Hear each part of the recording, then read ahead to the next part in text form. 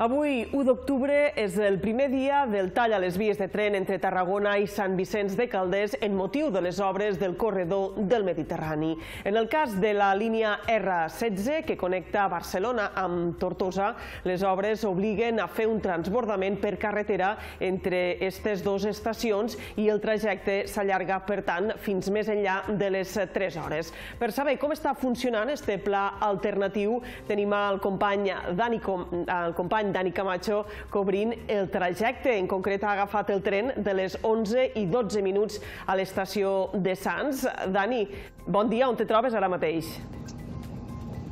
Bon dia, Leonor. Ara mateix ens trobem a l'autobús que fa el trajecte des de Sant Vicenç de Calders, on estem obligats a baixar, diguéssim, si volem continuar cap a les Terres de l'Ebre, ja que este tall, com dieu, de les vies afecta sobretot el tram que hi ha entre Tarragona i Sant Vicenç de Calders. Per tant, este autobús que els usuaris de les Terres de l'Ebre han d'agafar en esta estació del, de, de Sant Vicenç de Calders i anar fins a l'Hospitalet de l'Infant. Allà, en principi, hi haurà un tren esperant aquest autobús que continuarà el seu trajecte eh, direcció direcció a les Terres de l'Ebre, cap a la Mella de Mar, l'Ampolla, l'Aldea i per a finalitzar a Tortosa. En resum, un viatge de més de 3 hores, eh, gairebé 3 hores i mitja entre l'estació de França fins a Tortosa i avui hem, podet, hem pogut constatar que hi ha menys viatgers del que acostuma a ser normal un dia com avui, un dimarts en direcció a les Terres de l'Ebre. Ja és un dia en poca afluència, podem dir, ja que els dies forts poden ser més els matins, direcció a Barcelona, i tam o també, per exemple, els divendres eh, de tornada a les Terres de l'Ebre o els diumenges cap a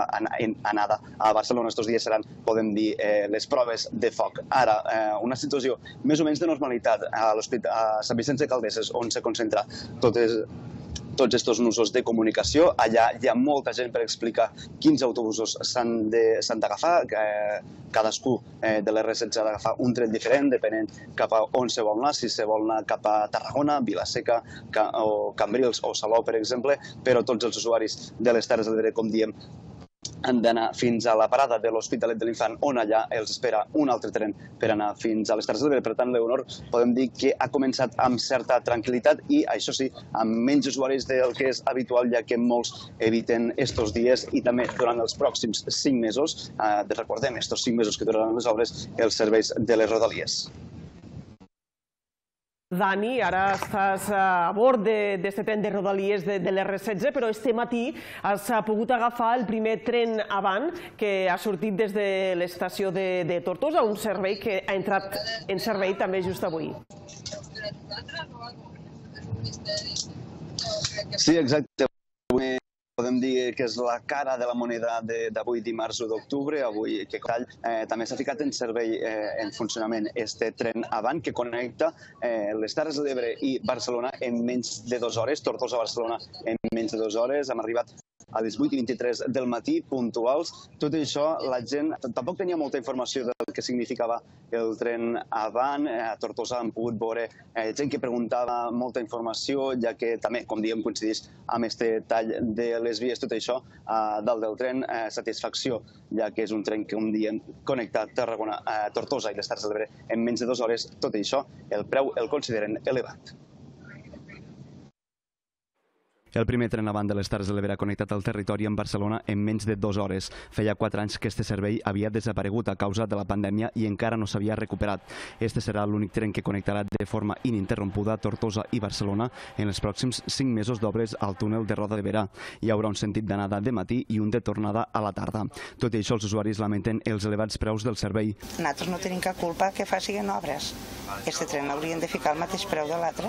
El col·lectiu Diàspora Brencat també ha denunciat que existeix un greu greuge, ja que el tren avant de les Terres de l'Ebre és més car que el d'altres territoris. Hem vist que el preu és més elevat, és un 40% més elevat que a la resta de territoris, tenint en compte també la distància. No? El preu per quilòmetre és de l'ordre d'un 40% més elevat. Per a usuaris ebrencs, però també del Camp de Tarragona, este tren és una de les úniques alternatives per estalviar-se les obres. Pues mira, he pujat aquí dalt perquè els trens funcionen fatal, fatal. I havia de fer transbordo per anar-me'n a Sants i llavors vaig decidir vindré al Camp de Tarragona i agarraré l'AVE. Confiava més en el tren i encara que surt més car, doncs he pensat, bueno, anem a lo segur. Amb les obres no me'l plantejo perquè el, el temps de trajecte s'incrementa uns 40 minuts o més.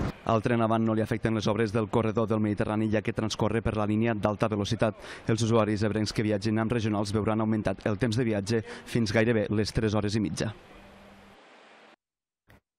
Contactarem més endavant al programa amb Dani Camacho. Avui hem recollit també diverses reaccions al voltant d'este primer dia de transport alternatiu. Per a les entitats Diàspora, Ebrenca i Trens Dignes, avui podem dir que és un dia agredols. D'una banda, per la recuperació del tren avant, que connecta Tortosa i Barcelona amb menys de dues hores, però per l'altra han mostrat la seva preocupació per l'afectació de les obres.